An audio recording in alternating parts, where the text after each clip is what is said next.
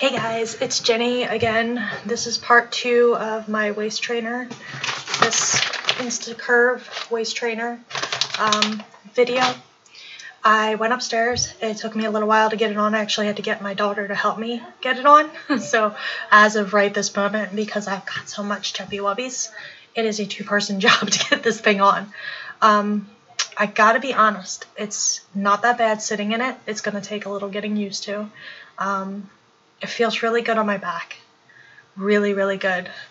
Sitting up straighter and in a better posture, it just feels good all together. Now, I got the long one, not the short one, even though I have a short torso, because I have the little flap of, you know, mommy crap. I got the longer one to help tone everything back where it needs to be. So yeah, that's pretty much how that worked. And I'll give you a view of that. Let me adjust real quick. So here's the waist trainer. I'm not going to go all the way up because I do want to be nude. And you can see it gives a little bit of a curvature here and here compared to what it was prior to.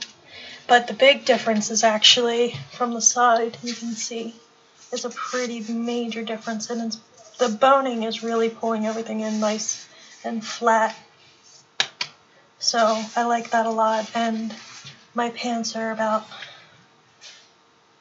they're, they're pretty big on me right now.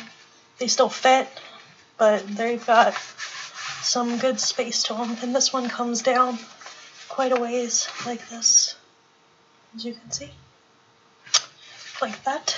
And your butt doesn't really look weird in it at all, even though it comes a little lower. Like, as you can see, it doesn't like take on any weird shape or anything. It even tucks all your back fat in real nicely. Um, so I'll be wearing this for about six hours a day. And it's going to take some getting used to sitting down and stuff because it is very, very long and very stiff when you go to sit, you do have to adjust a little to sit down. Um, it, I'm sure it'll eventually curve itself out so that it's just the way I'm used to sitting and it'll work its way out um, to my body shape. So, yeah, I guess I'll see you in about a week and we'll see kind of where it's at, feel out where it's doing and what we're looking at. But I'll do before and after pictures and uh, yeah, see you guys later. See what happens.